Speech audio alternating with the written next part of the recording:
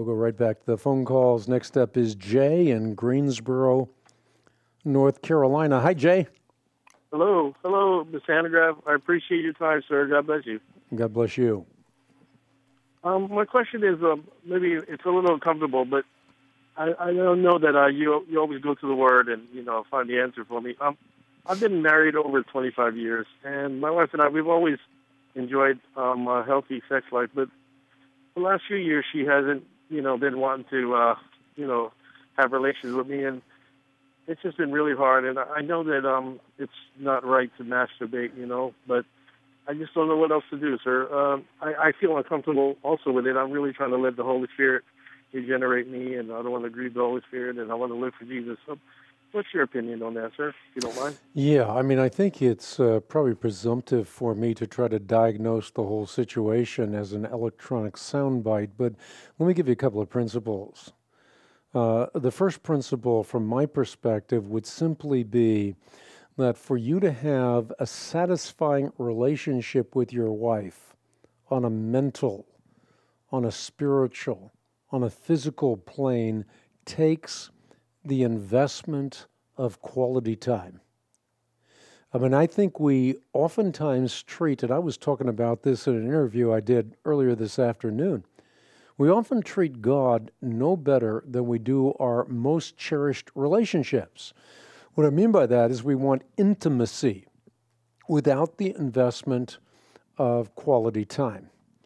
And I think just as we often rush into God's presence before our knees have hit the ground, we're already thinking about getting back into a frenzied, frenzied lifestyle. I think in the same way, we do the same thing with, uh, with, with our treasure, treasured relationships. We don't nurture them. When you don't nurture them, well, then you end up being in a situation where solo sex uh, becomes the only way uh, to relieve that particular God given gift. But that's not the way to do it. Uh, solo sex does not fit God's design because it is divorced from the beauty of marital sex being relational and a way to serve another selflessly. it, it is radically focused on self to wit, solo sexuality. It's radically focused on self. It misses the signpost reality in every way for what we would term holy sex. And remember, when two people come together, it's not open, it's closed. It is a holy communion uh, between two people. So there are some basic principles.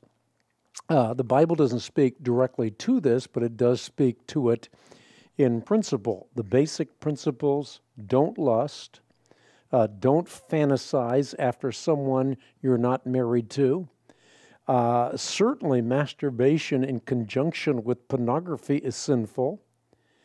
Uh, but what we can say the Bible's explicit about is that we were created male and female with sexual intercourse to be restricted within marriage.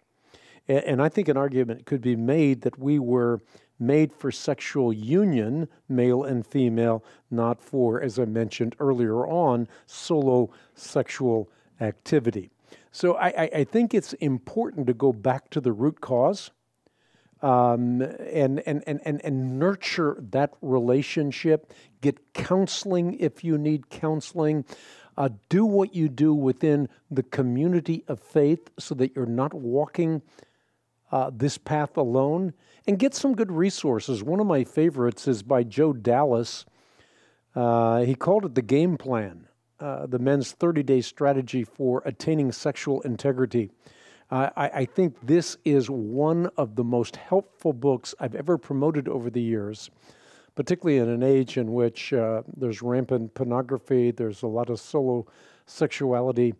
Um, and, and, and, and this brings you back uh, to, to, to, to a baseline where you can start nurturing the relationship and start using your vessel in a way that's pleasing to the Lord as opposed to displeasing to the Lord.